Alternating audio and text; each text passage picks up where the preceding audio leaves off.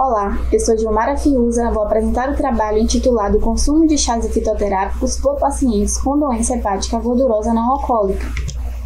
A doença hepática gordurosa não alcoólica é caracterizada pelo acúmulo anormal de triglicérides no citoplasma dos hepatócitos, estes podendo exceder 5 a 10% do peso do órgão em indivíduos sem histórico de consumo excessivo de etanol.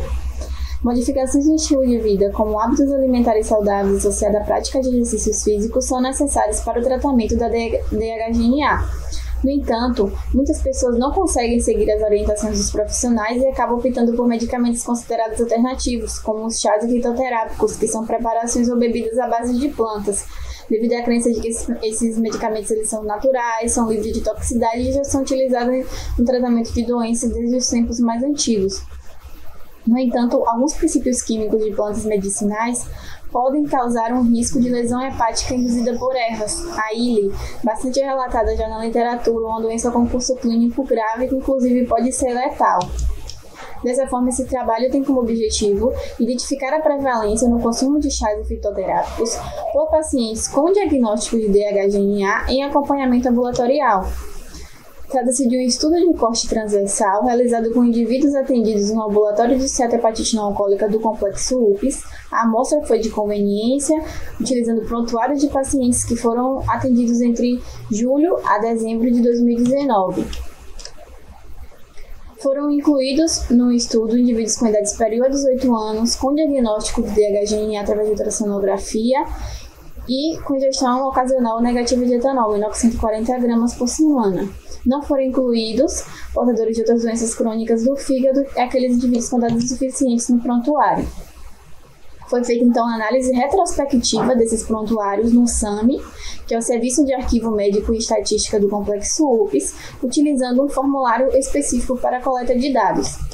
A análise estatística foi realizada através do programa SPSS versão 20.0 e adotando a significância de P menor que 0,05. Então, como resultados, foram avaliados 80 prontuários e 69 preencheram os critérios para inserção no estudo, sendo que as perdas se deram pela ausência do, do diagnóstico de DHGNA.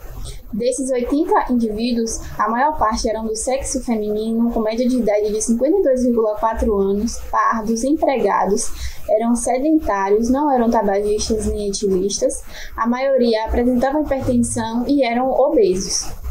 Dos 69 indivíduos, 55 continham informações no prontuário sobre o consumo de chá de fitoterápicos e destes, 25, ou seja, 45,5% relataram uso.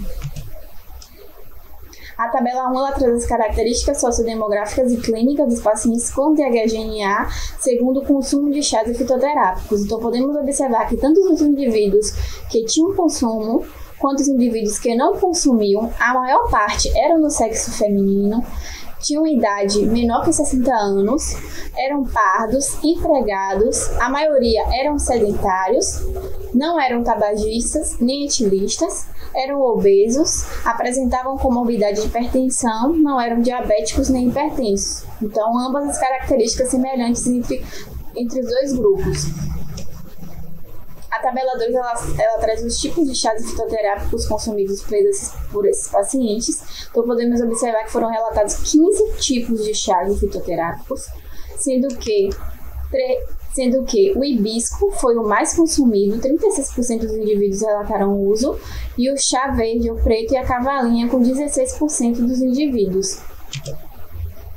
Então, conclui-se que o consumo de chás fitoterápicos é elevado no grupo de pacientes analisados com doença hepática gordurosa não alcoólica e acompanhamento ambulatorial, sem associação com qualquer característica sociodemográfica e clínica, como idade, sexo, etnia, ocupação, estado nutricional.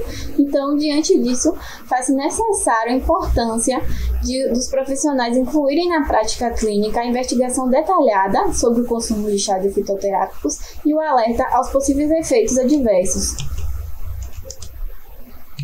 Essas são as referências e obrigada.